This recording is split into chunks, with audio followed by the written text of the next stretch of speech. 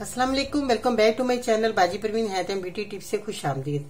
जी तो नाजिन कैसे हैं आप? उम्मीद करती हूँ बिल्कुल खैरियत से होंगे। आज की इस वीडियो में ऐसी चीज़ें जो आपको फ़ायदा पहुँचाने वाली हैं और ये चीज़ें आपको किस तरह फ़ायदा पहुंचाएँगी, आज मैं आपको इस वीडियो में बताऊँगी। मेरी वीडियो के अंत तक देखिए, सुनिए, ताकि आपकी परेशानी घर बैठे ही खत्म हो जाए।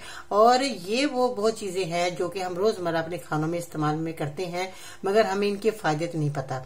आज मैं इन चीज़ों को आपके फ़ायदे के लिए बताऊँगी कि आपको मोटापा, अगर कम करना चाहते हैं तो कैसे मोटापा कम होगा? आंतों की सूजन अगर खत्म करना चाहते हैं तो आंतों की सूजन कैसे खत्म होगी? जख्म है। उसके लिए आपने क्या चीज़ों का इस्तेमाल करना है? लीमू के छिलके जो है वो आपके किस काम आएँगे? जो आपके मेरी वीडियो में देख रहे हैं, लीमू के छिलके हैं, सूखे हुए हैं तो ये आपके किस काम आएँगे? ये मैं आज आपको इस वीडियो में तस्वीर से बताऊँगी। ऐसी मालूमती वीडियोस देखने के लिए हमारे YouTube channel Baji Parveen health and beauty tips को सब्सक्राइब कीजिए और बेल आइकन को लाजमी प्रेस कीजिए। तो सबसे पहले तो मैं ये कहना चाहूँगी, दही। दही जो है, ताजी लेकर आए, ये आंतों की सूजन में, दिन में कई बार खाना चाहिए। जिनके भी आंतों में कोई इन्फेक्शन है या सूजन हो रही है, बहुत ज़्यादा दर्द हो रहा है, पेट का निज़ाम खराब है तो वो दही का इस्तेमाल करें। तो ये आंतों के लिए बहुत अच्छी है। और इसके बाद चाय बनाएँ। चाय में पुदीना डालकर पीने से आपका बहुत ज़्यादा मोटापा जो है वो खत्म हो जाता है। पुदीना आपके लिए बहुत फ़ायदेमंद है। पुदीना आप घर में लाएँ, इसको सुखा लें सुखाने के बाद जो है आप इसको सेव कर सकते हैं खराब होने वाला नहीं, क्योंकि बाज वक्त टाइम ही नहीं होता कि बाज़ार जाए, ताज़ा पुदीना लेकर आए। मगर ये आप सर्दी गर्मी पुदीने का इस्तेमाल कर सकते हैं जब आप सुखा कर रखेंगे।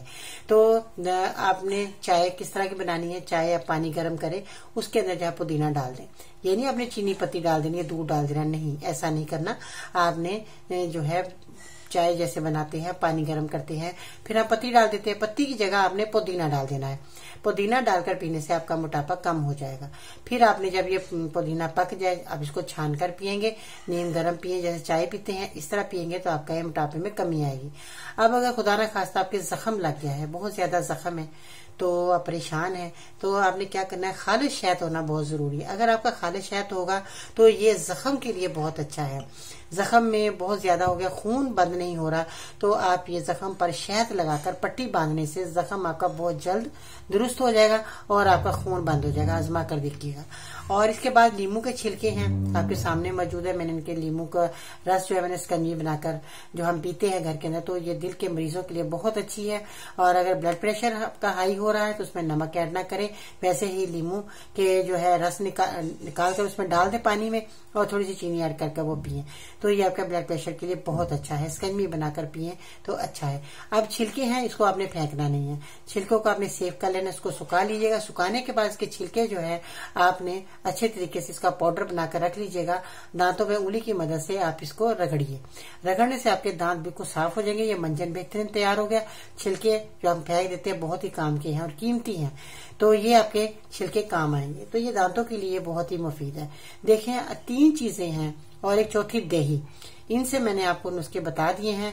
इस तरह अगर आपके पास कोई खुदा न खास्ता, किसी के जख्म हो जाता है या आंतों में रात के टाइम दर्द शुरू हो जाता है तो या बहुत ज़्यादा दांत गंदे हैं, पीले हैं, बदबू आ रही है तो ये चीज़ें आप अपने नेचुरल कुदरती चीज़ें लेकर आप अपने घर में इस्तेमाल कर सकते हैं और बहुत ज़्यादा बीमारियों से बच सकते हैं।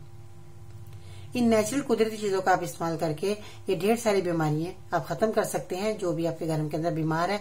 अगर आप मेरी वीडियो देख रहे हैं तो दूसरे लोगों को शेयर करें, ताकि वो भी लोग जो है नुस्खों से हासिल करके अपना फ़ायदा हासिल कर सकते हैं और अपनी बीमारियों को दूर कर सकते हैं।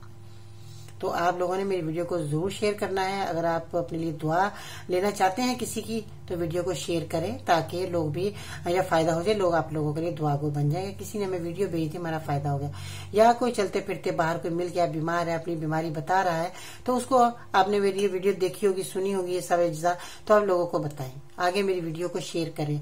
लोगों को बताएँगे, सदका जारिया है, नॉलेज को आगे पहुंचाना सदका जारिया है। जितने भी आपके पास नॉलेज है, बीमारियों की दवाइयाँ हैं बताया करें। और वो दवाइयाँ जो आपकी आजमूदा हों। ऐसे नहीं कि किसी को सुनी सुनाई जो बात सुनी और आगे पेश कर दी, नहीं। जो आपने आजमाई हो, वही आप जो है दूसरों को बताए कि जी मुझे इस दवाई से फ़ायदा हुआ, आप भी जड़ी बूटी इस्तेमाल करके देखें, आपको भी फ़ायदा हो जाएगा। तो आपने मेरी वीडियो को ज़रूर शेयर करना है और अगर आप मेरे चैनल पर नए हैं तो मेरे चैनल को सब्सक्राइब करें, वीडियो को लाइक करें, बेल बटन को प्रेस करना मत भूलिएगा, ताकि इस तरह की मुफीद कारामन उसके आप तक बहुत जल्द पहुँचते रहे। आज की खूबसूरत बात। तितली की तरह उड़ते चले जाते हैं लमे, फूलों की तरह सोचते रह जाते हैं हम लोग। तो वक्त बहुत जल्दी गुजर जाता है, पता ही नहीं चलता वक्त का, इसलिए ज़्यादा से ज़्यादा नेकी समेटे और ये नुस्खे दूसरों को शेयर करें ताकि दूसरे लोग भी फ़ायदा हासिल कर सकें। अपना बहुत सारा ख्याल रखिएगा, इसके साथ ही बाजी भी को इजाज़त दीजिएगा। अल्लाह ने के बाद